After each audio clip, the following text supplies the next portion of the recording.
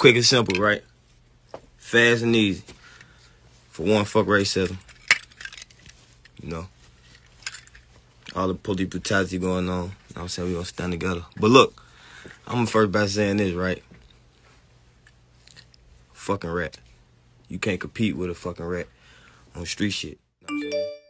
And I keep telling y'all that's this shit. Start responding to that clown ass nigga. Dilla. Start responding to that clown ass nigga, man. But this is another thing I just want to address.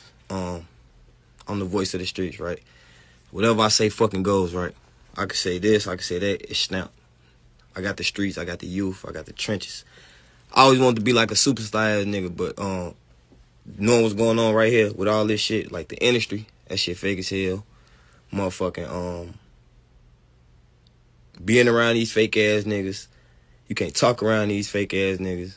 Niggas buying numbers, niggas buying bundles. So all this shit fake.